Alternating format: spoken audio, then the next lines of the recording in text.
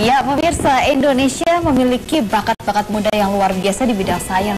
Belum banyak orang yang menyadari hal ini. Ya, ini terbukti dengan adanya acara Live Science Competition yang diikuti oleh para pelajar SMA se-Indonesia dan juga menghasilkan penemuan-penemuan baru yang luar biasa.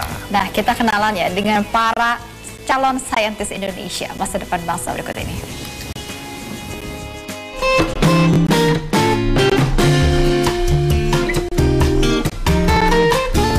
Indonesia International Institute for Life Science atau I3L mengadakan sebuah acara yang bertajuk Life Science Competition bagi para pelajar SMA di seluruh Indonesia pada tanggal 6 Mei 2014 lalu.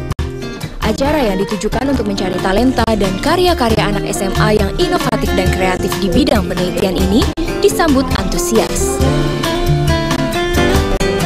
Setelah melalui seleksi awal, terpilihlah 10 finalis yang berasal dari berbagai daerah seperti Jakarta, Bandung, Semarang, dan Yogyakarta yang kemudian harus mempresentasikan penelitiannya di hadapan juri.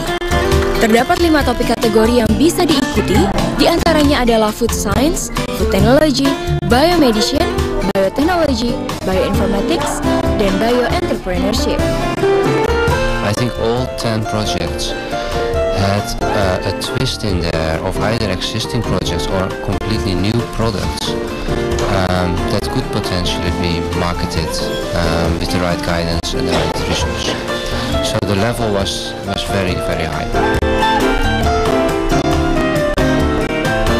Orisinalitas, proses penelitian dengan tahapan saintifik, produk yang bisa dipertanggungjawabkan, menjadi kriteria penilaian para juri. Setelah melalui proses penilaian yang rumit, akhirnya terpilihlah empat orang pemenang. Dan akhirnya, juara pertama diraih oleh Yuliani Putri dengan penelitian mengenai pembuatan permen jelly dari ekstrak buah dan daun kersen. Hmm, sampai sekarang masih belum bisa dipercaya gitu. Uh, soalnya aku benar kayak kurang pede, benar kurang pede. Jadi sampai sekarang masih sulit dipercaya. Para peserta yang berhasil memenangkan kompetisi ini memperoleh uang tunai, trofi, dan scholarship dari I3L. Saya harapkan muncul ide-ide baru yang lebih inovatif dan kemudian bisa direalisasikan dan akhirnya bisa menjadi suatu produk yang bagus untuk uh, human being ya. Sudah saatnya Indonesia memproduksi serta menjaga talenta-talenta muda yang berbakat. Dari Jakarta, Angel Valentina, Sinta Novitasari, Metro TV.